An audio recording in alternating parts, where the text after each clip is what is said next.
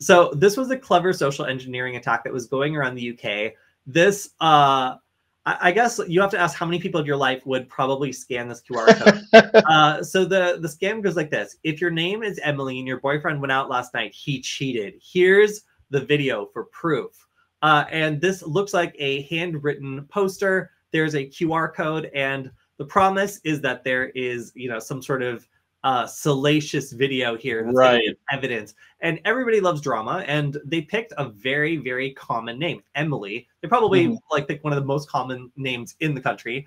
Uh, so the idea here is you have a large net of people that feel personally addressed by this. Um, maybe there's some latent paranoia, maybe they just want the tea. But either way, the drama of the situation uh, is something that causes people to be interested in doing something they normally might not do. Sure. So the the thought that like you know you would maybe see this and think, huh, I want to know what's going on here. Uh, especially the fact that it tries to kind of look handwritten. It doesn't really like. I mean, at least to me, Right. I think that there's a lot of people who would probably fall for this, and we've already covered a number of ways that QR codes can be malicious.